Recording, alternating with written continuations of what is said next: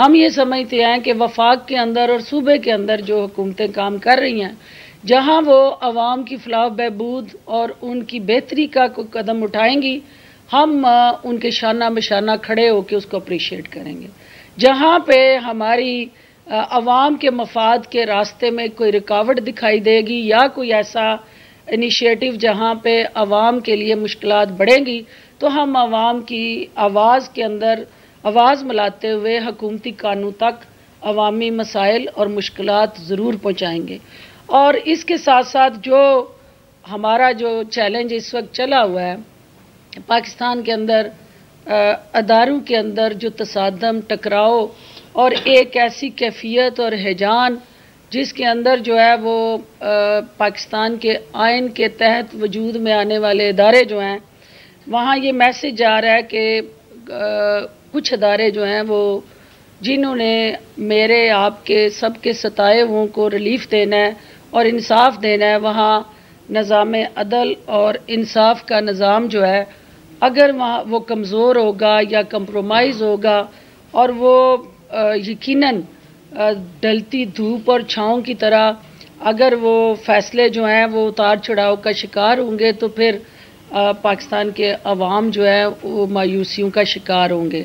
کیونکہ جو نظام عدل کے ساتھ جڑی توقعات ہیں، اس میں سب سے بڑی پاکستان کے عوام یہ چاہتے ہیں کہ ان عوانوں میں بیٹھے لوگ جو ہیں، ان کی شخصیت، ان کی ذہنیت اور ان کی شہریت، اس میں کلیرٹی ہو۔ کہ وہ دوری شہریت دوری ذہنیت اور دوری شخصیت کے ساتھ اس ملک کے مفادات کا تحفظ کس طرح کر سکتے ہیں؟ کیونکہ جو ڈیول نیشنلٹی ہے، وہ کرول نیشنلٹی ہے۔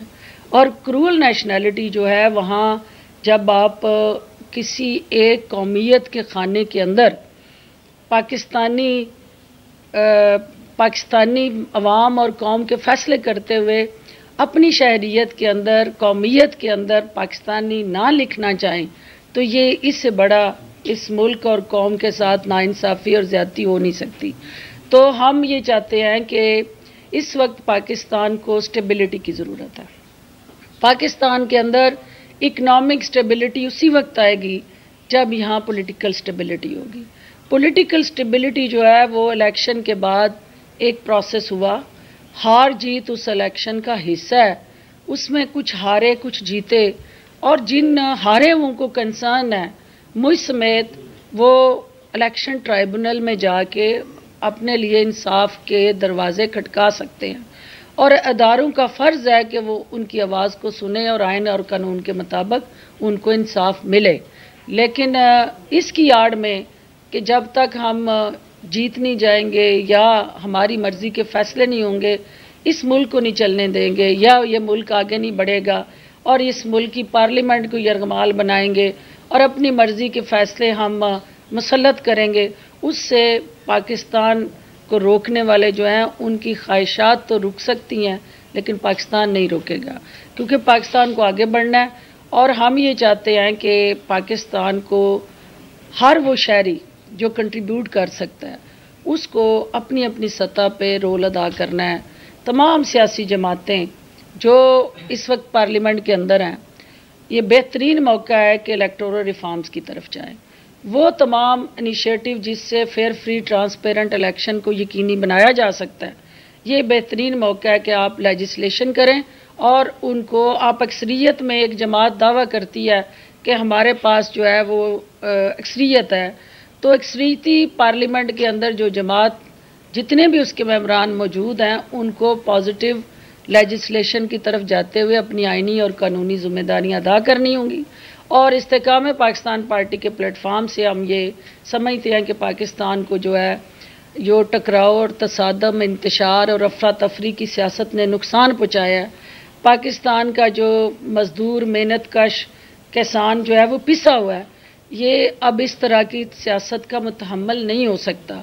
ہمارے آنے والے بجٹ کے اندر، جو اس وقت جون کے اندر آ رہا ہے، ہم استحکام پاکستان پارٹی حکومت وقت کو آلٹرنیٹو پرپوزلز اور آپشنز دے کے، کیونکہ ہمیں یہ دیکھنا ہے کہ یہ کریں یہ کریں یہ کریں، یہ تمام سیاسی جماعتوں کی آواز ہوتی ہے۔ لیکن کیسے کریں؟ اس کا کیا وے وے فارورڈ ہو؟ اس کا امپلیمنٹیشن اسٹریٹجی اور پلان کیا ہو، وہ ساری چیزیں کرنے کے لیے ایک جماعت کو پراپر الٹرنیٹو روڈ میپ دینا ہوگا۔ اور استحکام میں پاکستان پارٹی ایک الٹرنیٹو روڈ میپ جہاں پہ ہم غریب کی کیبنٹ کے اندر عوام کی فلاح بہبود کے لیے کوشاں ہیں۔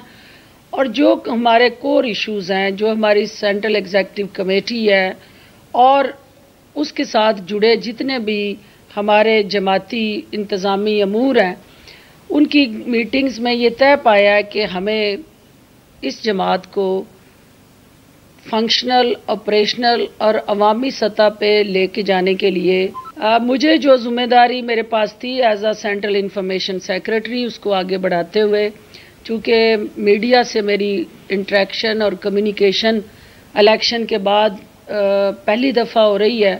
کیونکہ دو ہزار چوبیس کا جو الیکشن تھا، وہ بھی میری سیاسی کیریئر کے اندر ایک ایسا موڑ تھا جو آیا اور گزر گیا۔ اور میری سیاست جو ہے، وہ ہار جیت سے ہٹ کے عوامی فلاح بہبود اور ملک کی ترقی اور خوشحالی کی آئینہ دار رہی ہے۔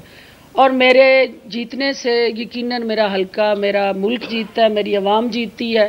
اور اگر میں جیت نہیں سکی تو اس کا مطلب یہ نہیں ہے کہ میرے عوام کے اور میرے ملک کے اور میری حلقے کے جو ایشوز ہیں، ان کو نظر انداز کر دیا جائے۔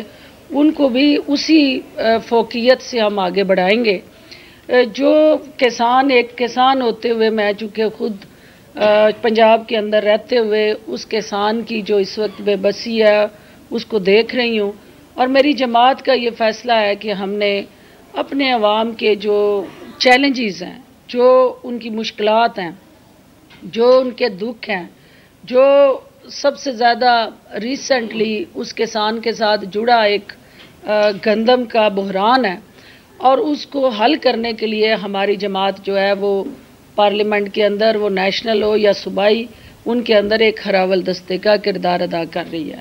اور مزید جو اس کی کیبنٹ کے اندر، جہاں ہم پر امید ہیں کہ وفاقی حکومت اور صوبائی حکومت نہ صرف کسان کے آنسو پہنچے گی، بلکہ گندم کی خریداری نہ ہونے سے جو کسان کا جو اس وقت اس کی ان پٹ جو ہے، اس کو آؤٹ پٹ اس کی ان پٹ کے ساتھ میچ نہیں کر رہی، تو اس کے لیے جو اقدامات کیے گئے ہیں یا جو پیکج اناؤنس کیا گیا ہے، اس کے اثرات نچلی سطح پہ نمودار ہوتے نظر آنے چاہیے، کیونکہ اس کا امپیکٹ جو ہے وہ نیچے کھیت کھلیانوں میں ان آڑتیوں اور جو خریداروں کے ہاتھوں یرغمال بنا ہوا کسان ہے اس کی اکھڑی ہوئی سانسوں کو بحال ہوتے ہوئے نظر آنا چاہیے۔ خان صاحب کی قیادت میں یہ سمجھتی ہے کہ پاکستان کے اندر مہنگائی کا ایشو ہو، کوئی بے روزگاری کا ایشو ہو، یہاں لا اینڈ آرڈر کی سچویشن ہو